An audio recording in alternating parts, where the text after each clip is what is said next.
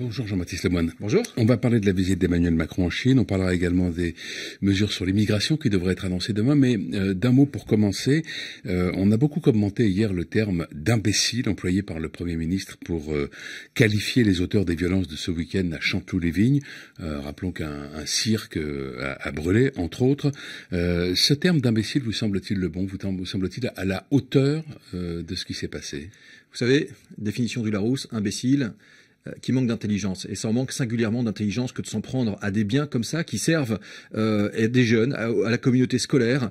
Et, j'ajouterais que euh, c'est sûrement aussi peut-être criminel. Imaginons euh, s'il y avait eu des gens à l'intérieur de ce bâtiment. C'est peut-être ça que les gens avaient envie d'entendre. Et donc, euh, je crois que tout simplement, le Premier ministre, il a dit très clairement euh, eh bien qu'il n'y aurait aucun répit dans la traque euh, de celles et ceux qui veulent, euh, comme cela, donner des coups de couteau à l'ordre républicain, qui veulent s'en prendre à des biens publics. Et d'ailleurs, on l'a vu, les dernières heures ont montré l'appréhension d'un certain nombre de suspects. Alors Emmanuel Macron est en Chine, deuxième visite d'État depuis son arrivée à l'Élysée. Euh, est-ce que la guerre commerciale que les États-Unis euh, ont déclarée à la Chine euh, a créé un nouveau contexte, peut-être plus favorable aux, échanges entre l'Europe et la France, donc qui d'ailleurs a du retard un peu à cet égard avec la Chine? Alors, ce qui est sûr, c'est que nous devons avoir un, un dialogue constant avec nos amis chinois sur les sujets commerciaux. Parce que lorsque les États-Unis s'en prennent à la Chine, c'est euh, pour évoquer des problèmes de subvention du capitalisme d'État, mmh. des subventions qui viennent euh, miner finalement l'équité entre les, euh, les producteurs euh, dans le monde. Et, et c'est un vrai sujet. Et c'est pourquoi le président de la République a tenu à évoquer avec le président Xi Jinping ces sujets de réforme de l'OMC, parce qu'on a besoin d'avoir une OMC qui a des règles adaptées au XXIe siècle et pour être respectée par tout le monde. Et puis la Chine, c'est également ce pays continent euh, immense avec euh, euh, en matière commerciale de formidables opportunités pour des filières françaises et le président est parti avec notamment les filières agroalimentaires, aéronautiques, etc. pour que euh, les producteurs français mm. euh, profitent aussi de cette ouverture progressive. Elle est progressive et nous, nous appelons les autorités chinoises à la poursuivre. Euh, c'est le sens du message que porte le président. Sur l'équité et, et, le respect finalement des règles de la concurrence, le président de la République estime que Donald Trump pose les bonnes questions, mais n'apporte pas les bonnes réponses. Oui. Mais quelles seraient les bonnes réponses alors? La bonne réponse, c'est tout simplement avoir un corps de règles que tout le monde reconnaît, euh, c'est-à-dire de dire qu'on ne peut pas subventionner euh, par euh, subvention publique tel secteur, etc. Et, donc ça, c'est justement l'ambition de réformer, refonder cette organisation mondiale du commerce qui est à, à deux doigts de la paralysie. Mmh. en mois de décembre prochain, cette organisation peut complètement être à l'arrêt. Et c'est pourquoi il est très important d'imaginer les voies d'une réforme. Sinon, qu'est-ce qui va se passer? Ça va être la multiplication des mesures unilatérales. Ça veut dire euh, des mesures décidées par un et un seul. On a vu les États-Unis imposer des sanctions, euh, d'ailleurs aux Chinois, mais également aux Européens. Euh, l'acier européen est désormais taxé depuis plus d'un an à des, taux prohibitifs. Et, donc nous, nous ne nous faisons pas à cela. Nous voulons absolument remettre à plat la feuille de route de l'OMC. L'Élysée a assuré que Emmanuel Macron aborderait sans tabou les questions euh, de droits de l'homme, euh, la situation en Hong Kong, mais Pékin a prévenu que euh, ça n'était pas forcément très pertinent de mettre ces questions à l'ordre du jour, qui des questions qui relèvent des affaires intérieures. Comment trouver le bon équilibre entre les valeurs morales auxquelles la France est attachée et les valeurs sonnantes et trébuchantes? Mais il n'y a pas, il a pas à opposer l'une et l'autre. Euh, c'est parfois difficile à concilier. Il n'y a pas à opposer l'une et l'autre. Pas fâcher et en même temps il faut en parler mais toujours, euh, vous savez, dans tous les dossiers euh, complexes euh, liés aux droits de l'homme, eh bien, la France et le président de la République singulièrement évoquent ces sujets-là avec ses interlocuteurs. Mais à huis clos désormais, à huis clos, c'est une manière plus habile de lorsqu'on cherche, lorsqu'on cherche des résultats, de l'efficacité, la meilleure façon de faire, c'est pas forcément d'aller faire un point presse devant 400 mmh. journalistes, c'est tout simplement d'évoquer un certain nombre de cas, de situations très concrètes avec nos interlocuteurs euh, ici ou ailleurs. C'est la façon de faire et euh, encore une fois euh, qui peut permettre de. Et finalement, du coup, personne ne sait si le, sujet a vraiment été évoqué et comment il a été évoqué, s'il l'a été.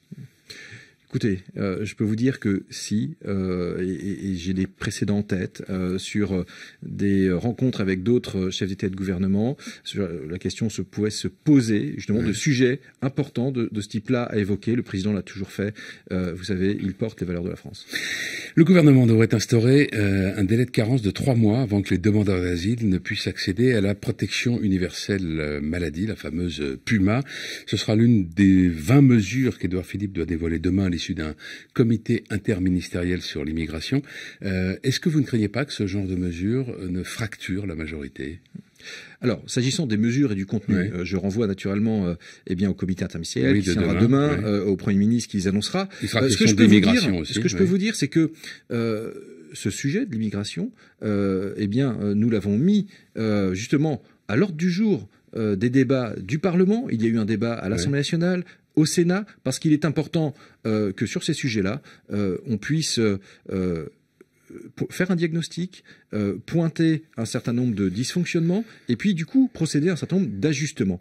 Et, euh, et, et, aussi ça permet de, de, lutter contre un certain nombre d'idées reçues parce que euh, il y a bien des gens qui parlent d'immigration mais en parlent mal ou instrumentalisent le sujet. Et donc nous nous voulons, je dirais, faire la vérité des faits, objectiver et derrière prendre des mesures adéquates. vous parliez de la majorité. moi je veux saluer le On travail. On sait qu'il y a une aile gauche à, la République en marche, Aurélien Taché par exemple. Vous n'avez pas, vous ne craignez pas qu'un certain nombre d'entre eux se désolidarisent de ces initiatives-là et, aussi, par exemple, de celles sur les, quotas d'immigration euh, pour euh, euh, répondre aux impératifs économiques de la France? Il y a eu un très gros travail fait avec la majorité, avec les parlementaires, qui ont rencontré les différents ministres du gouvernement sur le sujet, le Premier ministre, et qui, chaque semaine, ont co-construit un certain nombre de, solutions, un certain nombre de mesures. Donc je crois qu'au contraire, sur ce dossier-là, c'est l'exemple d'un travail partenarial avec la majorité, et on a tout à, à s'en réjouir.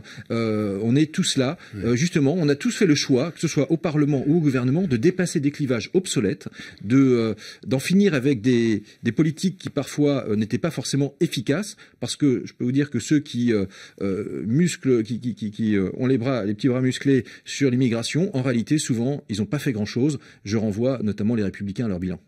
Alors, par exemple, sur les quotas, puisque euh, il devrait être question, il devrait être euh, établi, des, des, quotas devraient être établis pour l'immigration en fonction des besoins des entreprises. Et ça, euh, même la droite, dont vous venez d'ailleurs, n'avait pas osé le faire. Je crois que, vous savez, il faut regarder d'où on vient. il existait une liste des métiers en tension. cette liste, elle n'avait pas été actualisée depuis oui. plus de dix ans. Donc, on va faire tout ce travail et surtout, euh, l'idée, c'est de pouvoir répondre à des besoins de l'économie française de court, de court terme et, et de moyen terme. C'est-à-dire qu'on va faire un travail, euh, notamment statistique, territoire par territoire, pour voir euh, quels sont les métiers, les filières qui connaissent des tensions. Parce que moi, il n'y a pas un déplacement que je fasse en tant que euh, secrétaire d'État, notamment chargé du tourisme, ouais. sans que je, je, je, rencontre des hôteliers, des restaurateurs qui me disent on a du mal, on n'arrive pas à recruter, euh, je ne fais pas de deuxième service parce que j'ai pas suffisamment de main d'œuvre. Eh bien, on va faire cette cartographie statistique euh, des besoins de l'économie française euh, pour justement pouvoir euh, réguler les entrées et aussi s'adresser aux compétences dont on a besoin. Euh, par exemple, vous, cette liste des métiers en tension ne comprenait pas euh, la catégorie des codeurs, et on sait que l'économie a besoin euh, dans les nouvelles technologies de ce type de métier. Voilà, il s'agit de se mettre à jour et puis d'ajuster un certain nombre de dispositifs parce que il faut lutter contre un certain nombre de dévoiements. Mmh. Vous évoquiez la Puma qui concerne les, les demandeurs d'asile. Oui, nous sommes humains et les demandeurs d'asile oui. qui sont persécutés ont vocation à être accueillis, mais d'autres peut-être n'ont pas cette vocation-là. Merci Jean-Baptiste Lemoine, bonne journée.